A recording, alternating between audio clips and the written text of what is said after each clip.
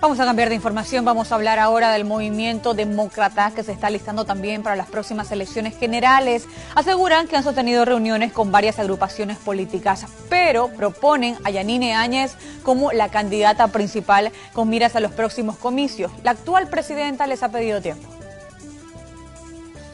Agrupaciones políticas se encaminan a plantear nombres de candidatos para formar el binomio con miras a las elecciones nacionales a realizarse el próximo 3 de mayo. El vocero del Movimiento Demócrata Social, Vladimir Peña, señaló que durante el fin de semana se han sostenido reuniones con varios líderes de agrupaciones políticas.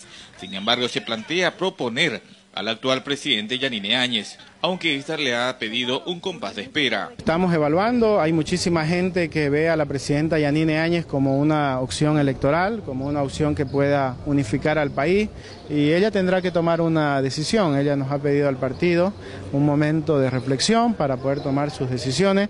Eh, todos sabemos la posición pública de ella que ha dicho que no está en sus planes ser candidata a la presidencia, pero tiene también una responsabilidad con la nación. Por otra parte, se ha descartado que Ernesto Suárez haya sostenido algún acercamiento político con comunidad ciudadana. Ernesto Suárez ha presidido una reunión o dos reuniones con eh, la gente de comunidad ciudadana, tal vez por eso esa información tergiversada, no hay ningún preacuerdo ni acuerdo con ninguna fuerza política a día de hoy. Esa es una información lamentablemente falsa que publica la red Herbol por un lado y por otro creo que algo interesada que alguien la está promoviendo.